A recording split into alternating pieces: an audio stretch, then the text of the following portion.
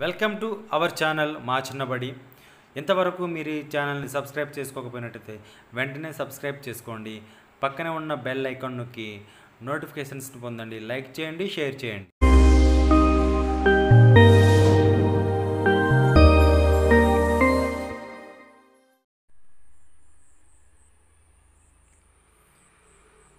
అభివృద్ధి చెందిన దేశాలు అభివృద్ధి చెందుతున్న దేశాలు.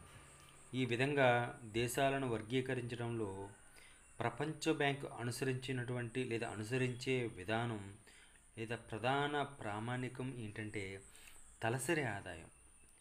తలసరి ఆదాయాన్ని ఆధారంగా చేసుకుని ఇంతవరకు కూడా దేశాలను అభివృద్ధి చెందిన దేశాలు అభివృద్ధి చెందుతున్న దేశాలుగా వర్గీకరించడం వస్తూ ఉంది.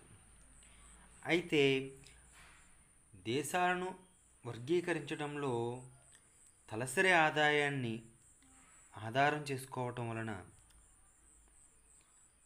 మనకి కొన్ని ఇబ్బందులు అయితే ఉన్నాయి. ఎందుకు అంటే ఈ తలసరి ఆదాయం అనేది ఒక సగటు ఆదాయం. తలసరి ఆదాయం అనేది సగటు ఆదాయం. ఆ దేశ జాతీయ ఆదాయాన్ని ఆ దేశ జనాభా చేత భాగించగా వచ్చేది తలసరి ఆదాయం. అందువల్ల ఇందులో అనేక పరిమితులు ఉండటం జరిగిందనమాట. అందుచేత ఇలా కాకుండా దేశాలను ఒక దేశంతో మరొక దేశాన్ని కంపేర్ చేస్తున్నాడు పోలుస్తున్నప్పుడు ఒక తలసరి ఆదాయాన్ని మాత్రమే కాకుండా దానితో పాటుగా ఇంకా వేరే వేరే అంశాలు పరిగణనలోకి తీసుకోవాల్సిన అవసరం ఉందని భావించిన కారణంగా మనకి కొత్తగా తెర మీదకి వచ్చినటువంటి నూతన అంశం ఏమిటంటే మానవ అభివృద్ధి సూచిక. ఇది ఏమిటనమాట? మానవ అభివృద్ధి సూచిక.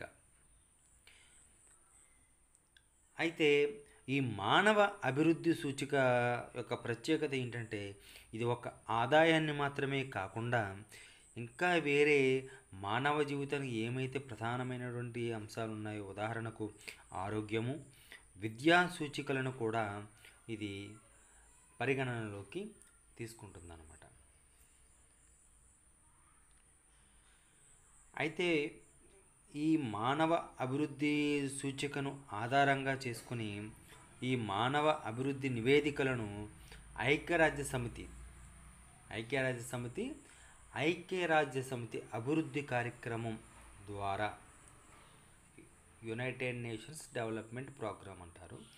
ఐక్యరాజ్య సమితి అభివృద్ధి కార్యక్రమం ద్వారా ఒక నివేదికను తయారు చేస్తూ ఉంటుంది.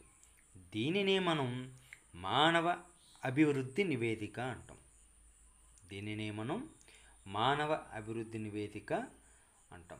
ఈ విధంగా ఈ మానవ అభివృద్ధి సూచికను ఆధారం చేసుకుని దేశాలను పోల్చి ఈ ఐక్యరాజ్య సమితి అనేది ఈ మానవ అభివృద్ధి నివేదికను తయారు చేస్తూ ఉంటుంది. ఈ మానవ అభివృద్ధి సూచిక అనే దానిని ప్రప్రథమంగా మొట్టమొదటిగా తెరపైకి తీసుకువచ్చింది ఎవరు అంటే పాకిస్తాన్ ఆర్థికవేత్త అయినటువంటి మహబూబ్ ఉల్ హక్. ఈయన ఎవరు అంటే? పాకిస్తాన్ ఆర్థికవేత్త. ఈయన పేరు మహబూబ్ ఉల్ హక్ దీనిని రూపొందించారు. దాని ప్రకారం పంతొమ్మిది వందల తొంభై నుంచి ప్రతి సంవత్సరం ఐక్యరాజ్య సమితి అభివృద్ధి కార్యక్రమం విడుదల చేసే ఈ మానవ అభివృద్ధి నివేదిక ఇదన్నమాట. ఈ విధంగా దీనిని మహబూబ్ ఉల్ హక్ ఉల్ హక్ అనే ఆయన రూపొందించడం జరిగింది.